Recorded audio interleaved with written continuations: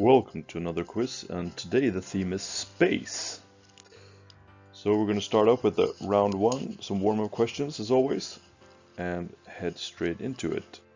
So the first question is, which flags are these countries connected to? We got A, B, C, and D, and E.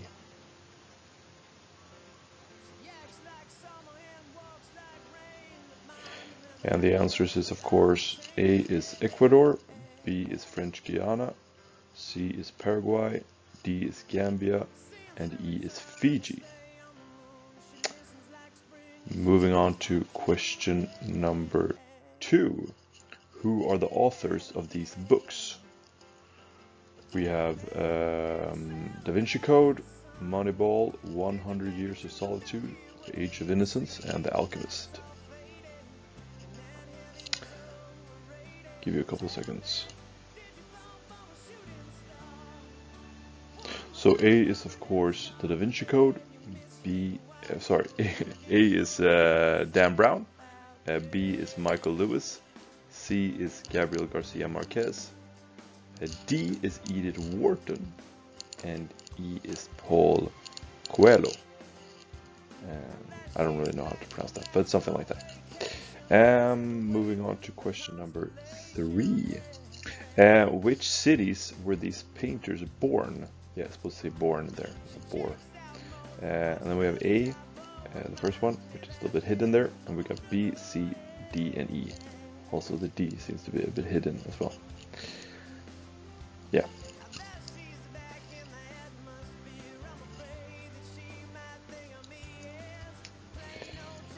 And we go through the answers. So we have A is uh, Picasso, who was born in Malaga. B is Rembrandt, who was born in Leiden, or Leiden. C is Paul Cézanne, born in Aix-en-Provence. Uh, D is Klimt, who was born in Baumgarten. And E is Frida Kahlo, who was born in Mexico City. Great, now let's move on to the round two, the space themed round. And we're going to start up. What was the name of the module on Apollo 11 that landed on the moon? In 1969. Also, Brian, Bruce, no, what was it? Um, Bryan Adams song. Anyway, so the answer is the Eagle. What was the name of the module? Moving on to question number five. What is the name of this astronaut? Or cosmonaut, should it be actually?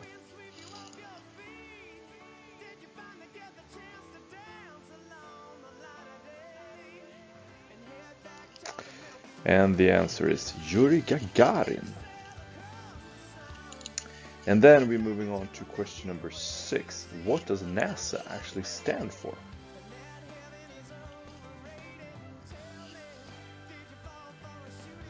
The famous agency.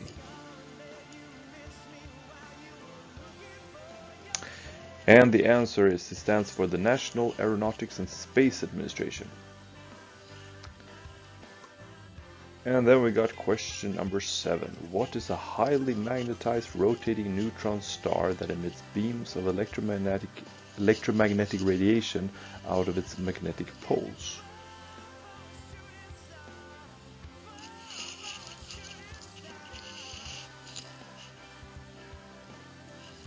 And the answer is it's a pulsar. And then we're moving on to question 8. Which electromagnetic radiation has the highest photon energy? And the answers, answer is gamma rays. So moving on to round 3, the music rebus round. And as always, we have we can put in the different images to become uh, the name of a band or an artist. So in this case, it's then Ali G, which together with CIA and Keys become Alicia Keys. So that's kind of how the, this game works. Um, so start off with this one. Which band is this?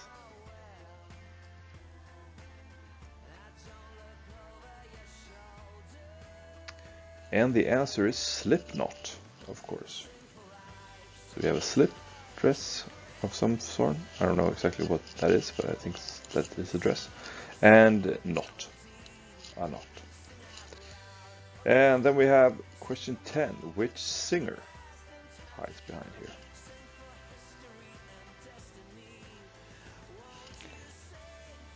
And it's of course the famous Alice Cooper. And finally, which artist hides behind here?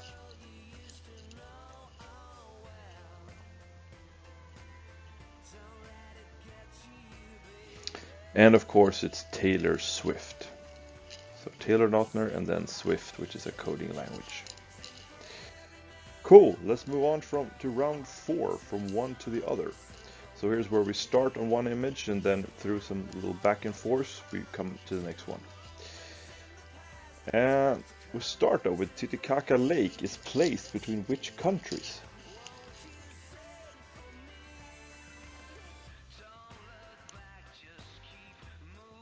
Mm.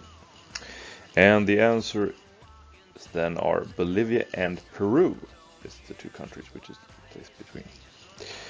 And the center of the mighty Inca empire, empire from 1438 until the Spaniard Francisco Pizarro arrived in South America in 1532.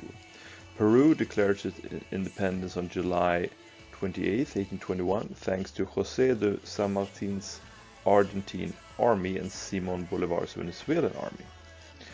Simon Bolivar was named Liberator of America and was born in Caracas. Caracas is in Venezuela, what's the name of the famous leader uh, that was in Venezuela? So what is the name of this famous leader from Venezuela?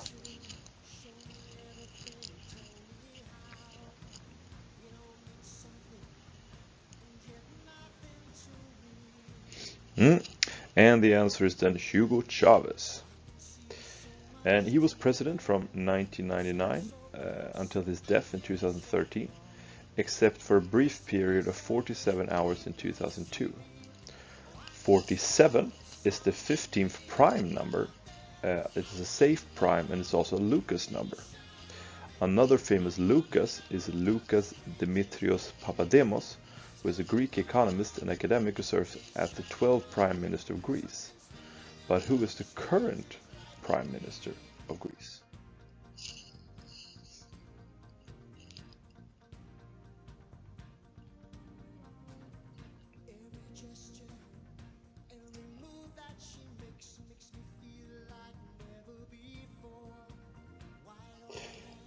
A famous food in Greece uh, oh, yeah, the answer is, of course, Kyriakos Mitsotakis. Probably butchered that name. Um, so, famous food in Greece is the pastitsio, which is a Greek lasagna. And lasagna is a famous dish in Italy. Um, and the Tyrrhenian Sea is an arm of the Mediterranean Sea between the western coast of Italy and the islands of Corsica, Sardinia, and Sicily. Corsica is an island in the Mediterranean Sea and one of the regions of which country? So, Corsica is a region of which country?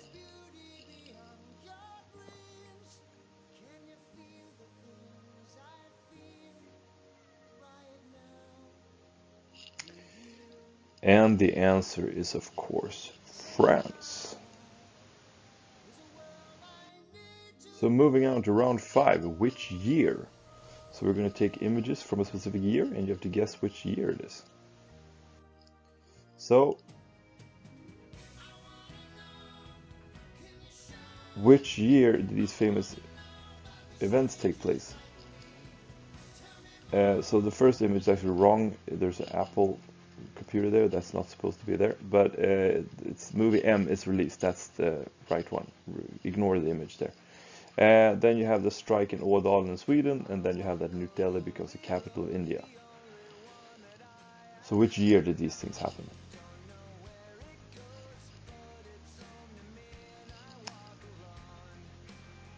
I really fucked up on that image.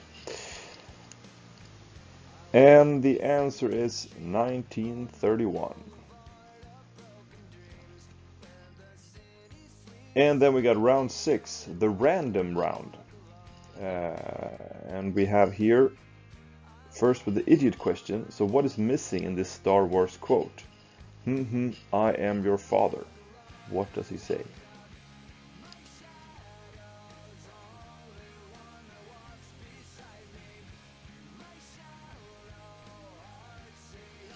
And the answer is no. He says, No, I am your father. It is not Luke, I am your father, which maybe many people think. Next, move on to the IMDb round, where there's a specific film that he's talking about. And this is a person who's given a one star review, and we have to figure out which movie it is.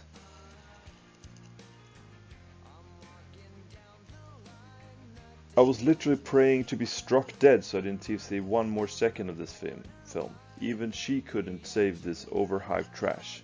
I could feel my IQ drop each minute of the movie that went by. I was amazed, shocked, and in horror to see that there were actual people on IMDb nonetheless who thought this film was gasp good. Not even close. Waste of my time and a waste of my life which I can never get back.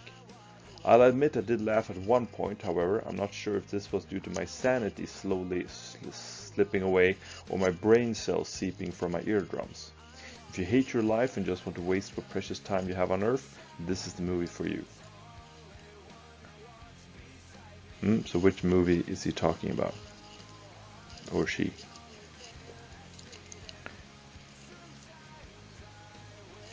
And the answer is Barbie. And we're moving on to solve the anagram. So which famous leader hides behind here?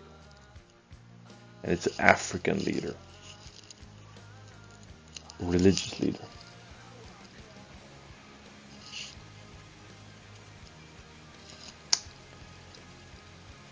And the answer is then, of course, Desmond Tutu.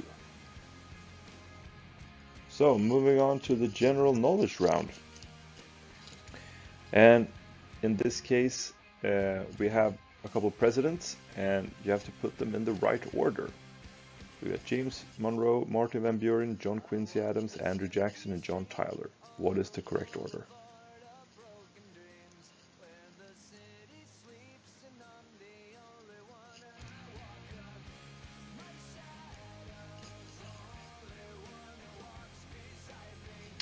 So the answer is then, of course, so first came John, James Monroe, then came John Quincy Adams, then came Andrew Jackson, then came Martin Van Buren, and then came John Tyler. So, question 21. Name these instruments. So we have A, and then we have B, uh, which the letter B has disappeared. Um, and then we got C, D, and E. So, name the instruments.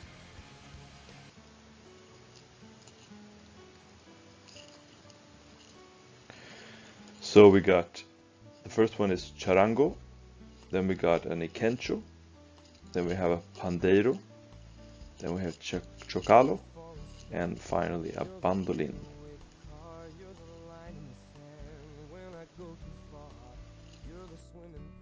And then we got the last question, and who invented these inventions?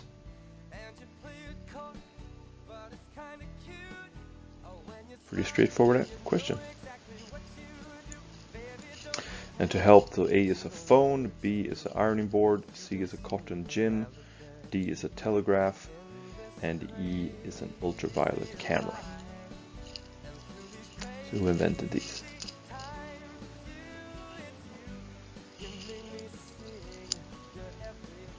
So uh, the phone was invented by Antonio Meucci uh, the ironing board was invented by Sarah Boone.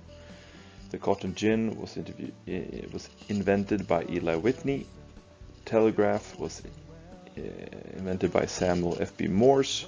And ultraviolet camera was invented by George Carruthers. Awesome. Well, thank you so much for this quiz and hope to see you next time.